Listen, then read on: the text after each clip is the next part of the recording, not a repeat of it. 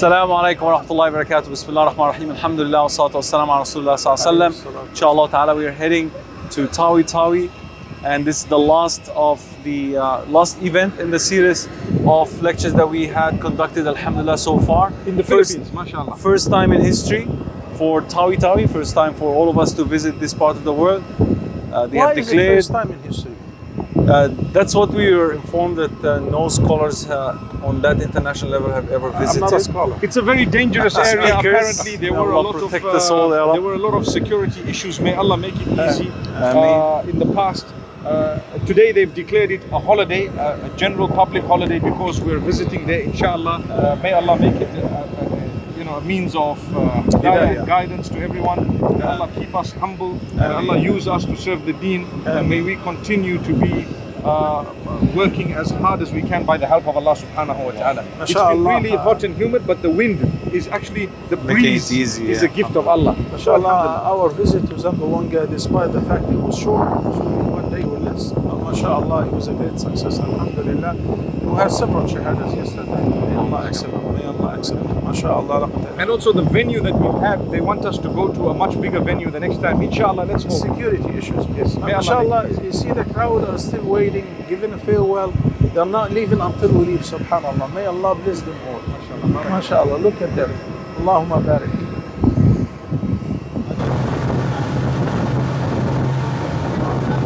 Assalamu alaikum, mashallah. وعليكم السلام Assalamu alaikum, mashallah.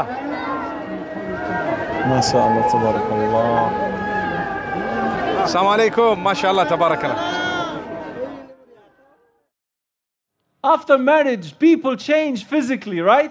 And sometimes in the morning, you know, kuhl or mascara for ladies, they, they like it a lot, yeah? And then they sleep.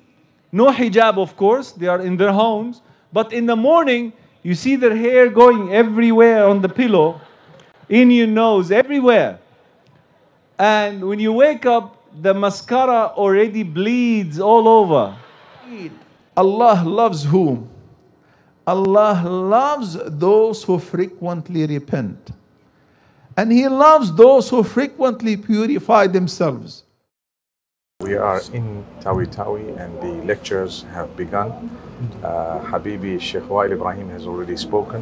And uh, at the moment, Dr. Muhammad Salah is speaking, and then inshallah I will speak. So, what did you speak about? Alhamdulillah so I, they gave me the topic of uh, secrets of successful marriage MashaAllah. so I was analyzing uh, a book written by a non-Muslim author called The Five Languages of Love and I was relating each point to the Islamic teaching of the same concept Yes. so uh, words of affirmation to appreciate each other to speak good words to each other uh, exchanging gifts uh, acts of service and so on so five Mashallah. points that, alhamdulillah This is the first time they're having such a big event in Tawi Tawi. people are excited And how is the response when you're talking? So the first thing i ask them is do you do you understand my english and the entire venue exploded yes so that was my fear because this is our first time here mashallah majority vast majority speaks english understand That's respond amazing. very well to jokes and, Yes. and humor uh, points and sometimes we, we ask them they respond mashallah tabarakallah. so You know, it's amazing because uh, I asked a similar question uh, to the organizers that do you have a translator? They said we don't need one, inshallah. Yes. In fact, in fact, the brother who opened, uh, I think the vice vice governor, he was speaking in uh, the di- the dialect language of Tawi Tawi, and my wife being a Filipino Tagalog, and by Aisha, one of our team members, they didn't understand the language. Amazing. so Tawi Tawi is the southern uh, tip of the Philippines where Islam came from in 1380. That's about 600 uh, years ago, 643 years ago. We visited this morning the place. Uh, what's The the, name of the masjid- the place? masjid Simunul, Karim, yeah, uh, Simunul Island. Yes. Simunul Island, and the masjid was Built- built by Karim al-Makhdum. So they say Karim Karim al-Makhdum. al-Makhdum is either a- an individual Arab Uh, or a group of Muslims. yeah, Karim al Makhdum. Uh, the masjid is called Masjid Sheikh Karim al Makhdum. Yes. yes. So it seems like he might have been an, an individual, and uh, he he and his group came in, and mashallah, Islam spread from here. So it was very historic and amazing. It was a lovely place, inshallah. So I am uh, going to be speaking here, and then we're spending What's the your topic, Sheikh? Uh, wallahi, akhi, it's a, to do with the light. You know, the, the, The the whole theme here is light upon light. So, Alhamdulillah, uh, we'll speak about the Quran, message of the Prophet. Sallallahu Alaihi Wasallam. Alayhi salatu uh, the fact that we are really favored by Allah for being an ummah of the Quran and the Sunnah uh, and being gifted to be part of this uh, blessing. It's something people take for granted, you know. So, inshallah, we're speaking to masses, and here a lot of the people are, uh, you know, they may not be.